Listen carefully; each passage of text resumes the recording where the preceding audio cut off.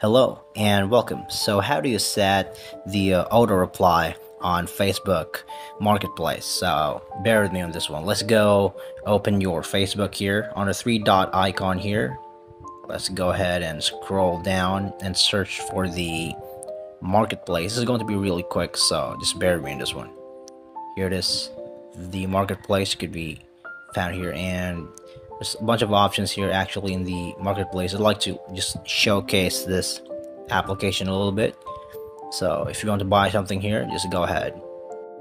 And uh, now just click this the one on besides the marketplace here and you'll be prompted here going to be scrolling down to settings.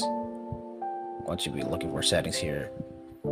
So that will be changing the message prompt here. So it's gonna be really quick. Once you click that go ahead and click this and you can customize your message here on the auto reply like whatever. Let's just put sample okay context or whatever you want to type here.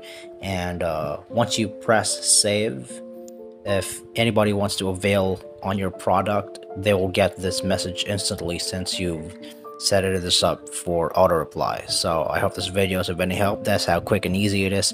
Thank you so much for watching. You guys have a nice day.